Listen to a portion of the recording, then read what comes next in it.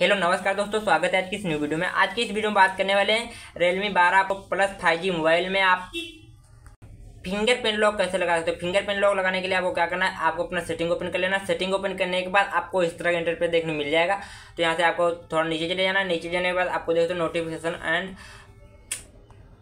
तो यहाँ से देखते हो पासवर्ड एंड सिक्योरिटी का ऑप्शन देखने मिलेगा, उस पर क्लिक करना उस पर क्लिक करने में आपको फिंगरप्रिंट का ऑप्शन देखने मिलेगा, उस पर क्लिक करना है। उस पर क्लिक करने में आपको यहाँ से जो भी अपना स्क्रीन लॉक बना के रखा वही डाल लेना है।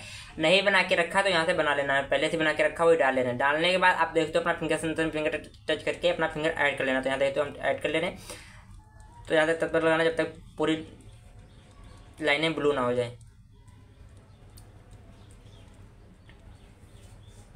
तो यहाँ से डन करना डन करने पर देखते हो हमारा फिंगरप्रिंट लॉक लग जाएगा भाई जाके देखते हैं फिंगर से हमारा मोबाइल अनलॉक हो जाएगा। भाई जाके जाने पर अपना स्क्रीन ऑफ़ कर रहे हैं। स्क्रीन ऑफ़ करने पर अपना स्क्रीन ऑन कर रहे हैं तो यहाँ देखते हो हम अपना फिंगर फिंगर टच कर रहे हैं तो हमारा मोबाइल अनलॉक हो जा रहा है। इस तरह से आप अपने मोबाइल में फिंगरप्रिंट लॉक लगा सकते हो। वीडियो अच्छा वीडियो को लाइक चैनल को सब्सक्राइब ज़रूर करिए। आज इतना ही बाय बाय टेक केयर